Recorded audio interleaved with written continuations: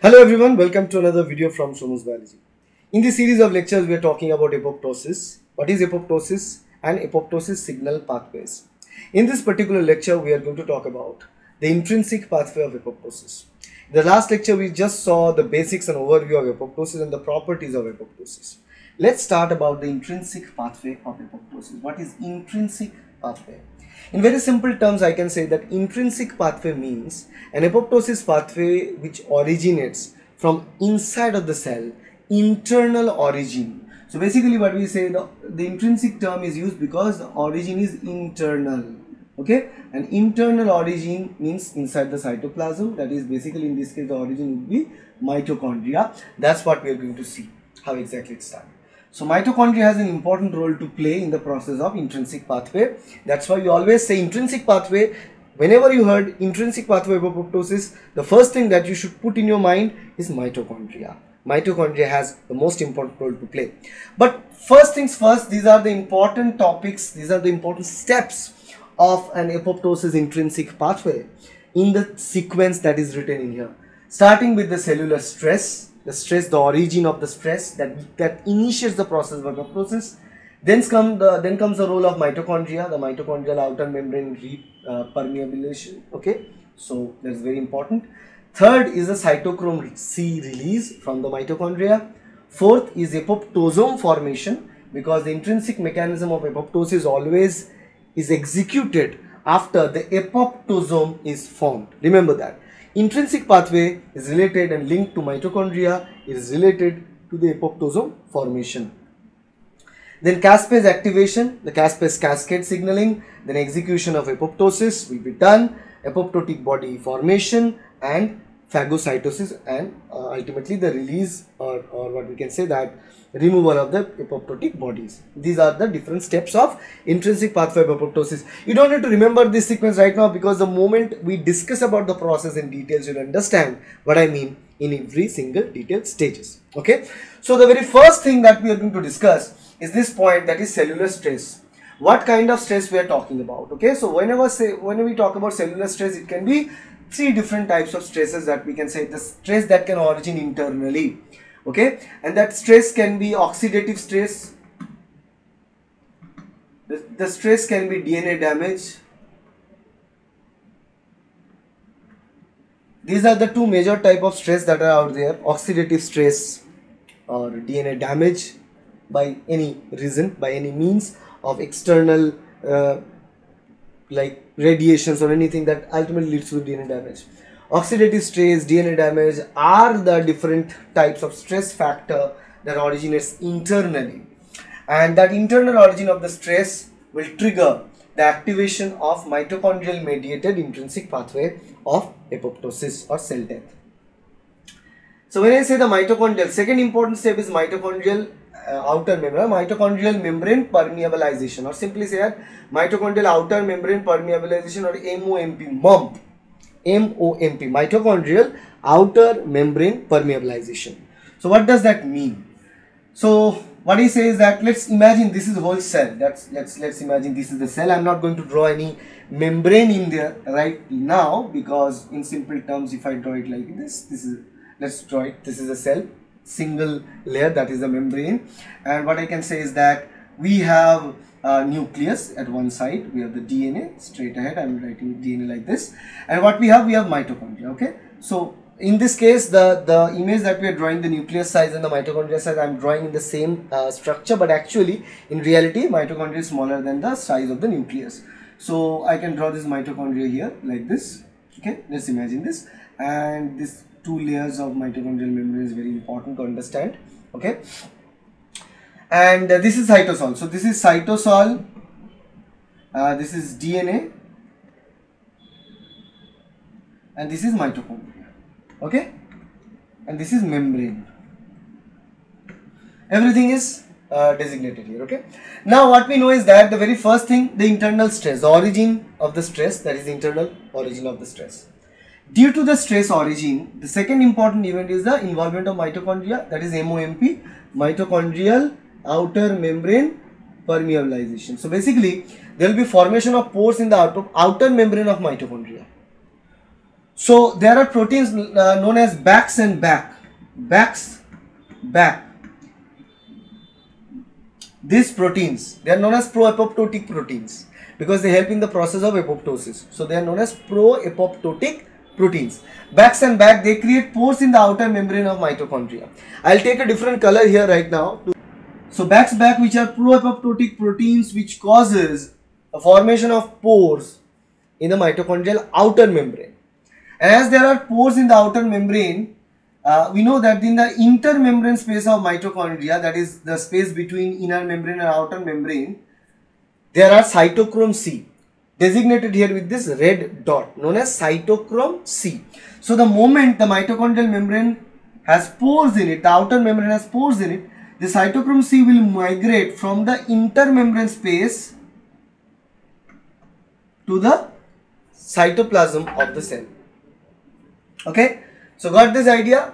Third important step cytochrome release. The cytochrome C which is present in the intermembrane space of mitochondria start to get released from the intermembrane space to the cytoplasm via the pore created in the outer membrane of mitochondria.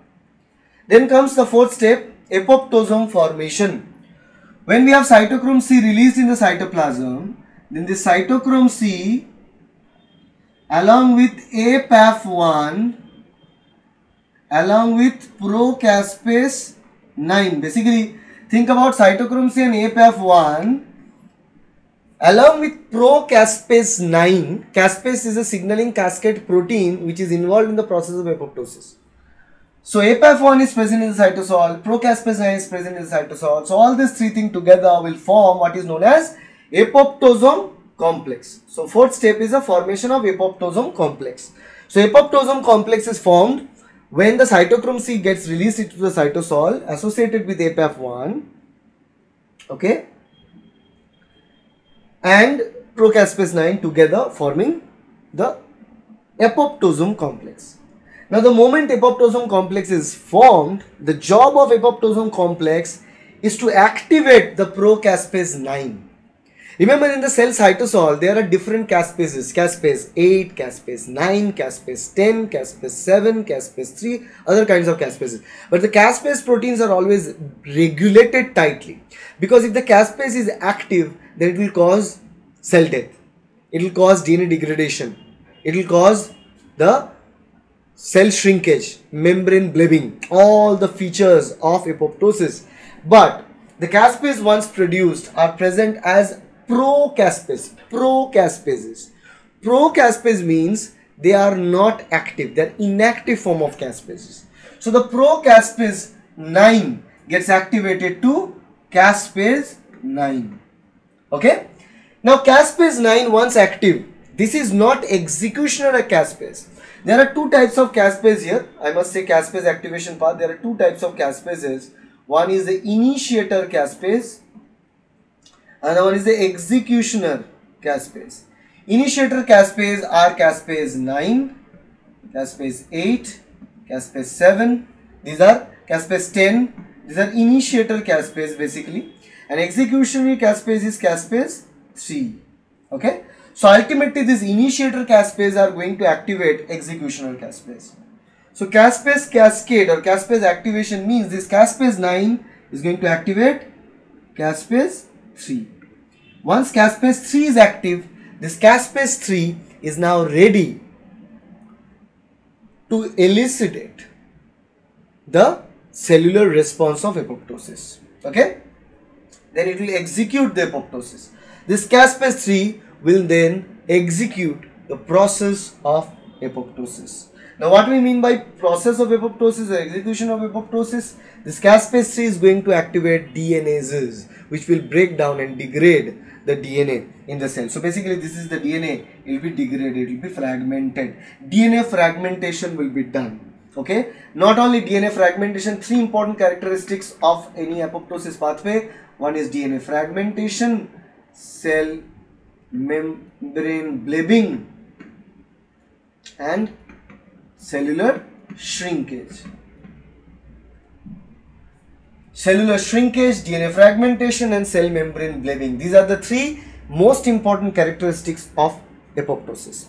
all these three things will be done after the caspase 3 is active that is execution of apoptosis once this execution is done at the end what do we have in our hands the dna is fragmented the cell is shrinked fragmented and small debris like components of the cellular bodies are floating in that area covered by membrane known as membrane blebbing. So all these fragments are now the remnants of the cell death is there. So the seventh step is apoptotic body formation. So this is known as apoptotic bodies. All these things, the fragmented DNA, the membrane blebs, the shrinkage version of the cell cytosol and every single components that are floating in that area are termed as apoptotic bodies.